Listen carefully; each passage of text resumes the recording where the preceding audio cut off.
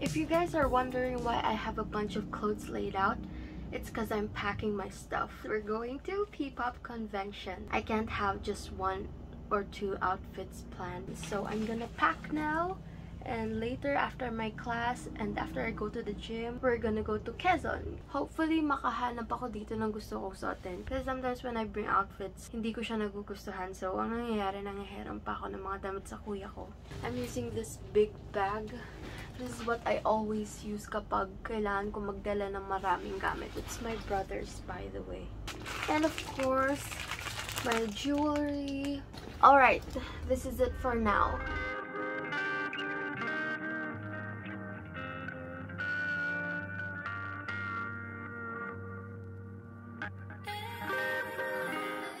This is the only cute pajamas that I have. So whenever I'm vlogging, I wear this. I took a hot shower tonight because I don't think I'll be able to take a bath tomorrow morning because I need to wake up very early. I'm done with my skincare and my agenda for tonight is I'm gonna edit. After that, I'm gonna sleep now because I need to wake up early tomorrow to prepare for the first day of P-pop convention.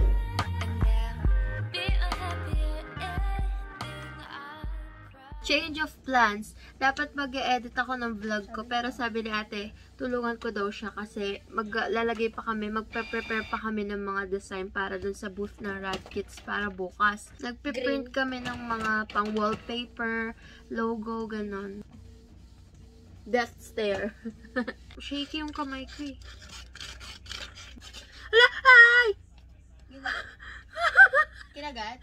Hinila niya. Buti hindi dumagumanon. Uy. Ayaw niya. Mga nakalike. Ikaw talaga, oh. Pakita mo yung sarili mo, oh. Nagugulo. Buti hindi niya napunit. love you so.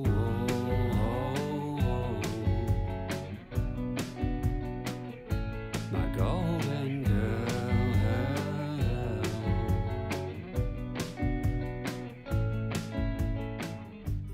Hi guys! Nandito na kami ngayon sa Frontier Theater. Actually, nasa labas pa lang kami kasi we're still waiting for the ticket. Pero papunta na yung magbibigay sa amin. And nag-lunch na rin kami. Hindi kasi kami nakapunta ng 10 a.m. 10 a.m. yung simula ng P-Popcorn. Pero since na-late kami nagising, late na rin kami nakapunta. So we just had uh, lunch and ngayon hinihintay namin yung ticket before we go in. Got it! Tago mo kasi! Kahit. Kasi dyan, ito na yung gagawin mo. Uy, matiket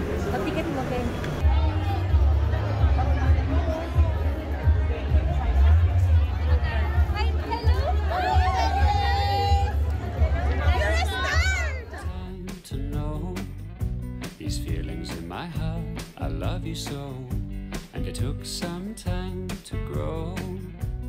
When we are apart, I miss you so.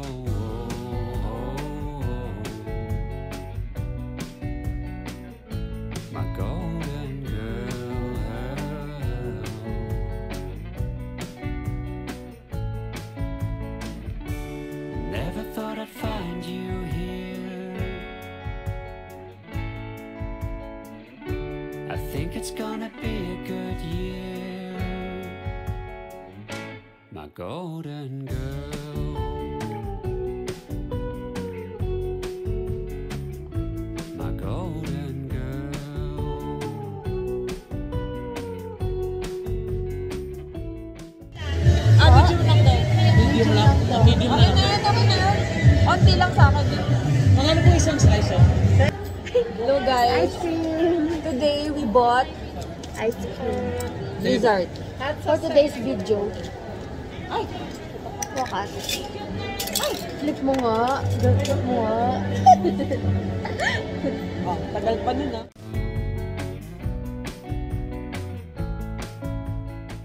We just got home from the convention and all I can say is I'm super tired. Dapat talaga, tatlo lang yung magbabantay sa booth, si Kuya Josh, si ate, pati si ate Ina. But we ended, my mom and I ended up helping kasi sobrang haba ng pila. So thank you guys for your huge support for Rad Kids. We did a lot of things. Hindi kami nakakain sa oras, pero it was all worth it. Thank you guys so much for supporting our business. Magko-close na kami bukas. I mean, hindi na open yung booth namin tomorrow. So, pupunta pa rin kami sa Araneta naman, hindi na sa Frontier Theater. Magpapahinga muna kami. Actually, yung ginagawa namin kagabi, hindi namin na gamit kasi late na kami nagising and di kami nakapag-set up kasi pagdating nila doon, ang dami ng tao. That's a wrap for day 1 of P-Pop Convention and I'll see you guys again tomorrow. Woke up this morning feeling a little strange. This state is foreign. I don't feel any pain. I don't understand it. Just like a starry day. This brand new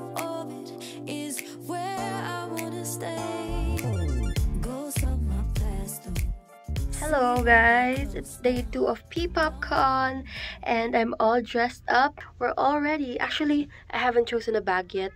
I need to bring a bag so I can bring my stuff. This is my outfit. I'm wearing this sheer cover up. This is thrifted and this is from Monkey. I've worn this one a lot of times pero di ko pa siya nasasuot sa picture and sa vlog. Sobrang taas pala ng shoes ko ngayon so I think may hirapan ako maglakad. Pero ganun talaga, tiis ganda nga 'di ba sabi. Tingnan nyo naman yung shoes ko. Ayan, ang taas ba? Ganyan siya. Okay, I'll see you guys when I get there.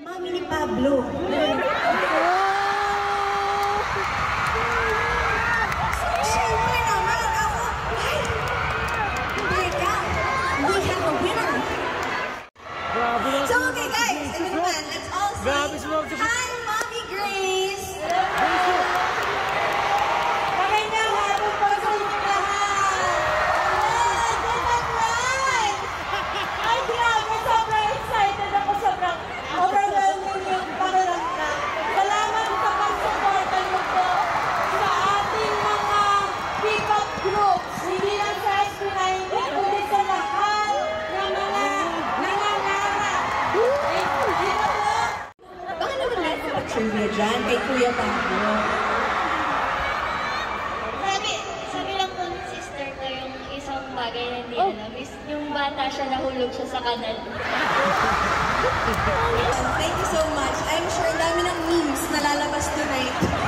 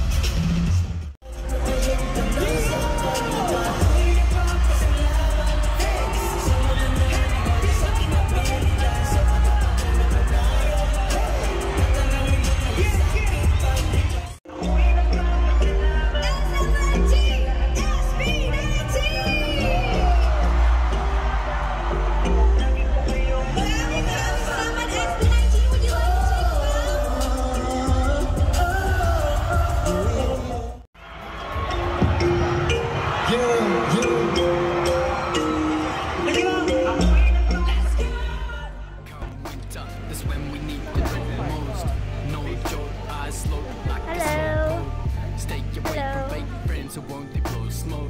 My nose knows no limit when I go home. Smash baby, act crazy, yeah, no tap into the source, kid. Pat Swayze dancing on your corpse trick. Boy, you tuck, boy, you blush, and I'm all in. Spazzing on the record, and I'm carrying the torch lit. Sitting on my porch, bitch, rolling up a baseball bat. That's a Lord Split. Talk slick like a New York pit. Spoonful of poop porn and a few chalk tips. Whether or not I'm crazy is not in the conversation. In heaven or lost in Hades, I take it upon my patience to sleep in the bed that I've made. Sprite and strawberry ice cream. But operating on the sea of the plane. Listen and gaze.